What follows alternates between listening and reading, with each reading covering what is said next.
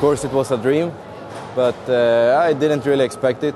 Uh, after the round in Las Vegas, uh, I don't know, but I learned all the time over there. And when I came here, uh, the track looked uh, looks really nice. I like it a lot with uh, much stones and very much difficult things, the the water and the stones and the, the deep lines and the logs. So. I like it a lot, and then I was back on my uh, my 390 bike now, and uh, I, it worked so good. And uh, I did three very good motos.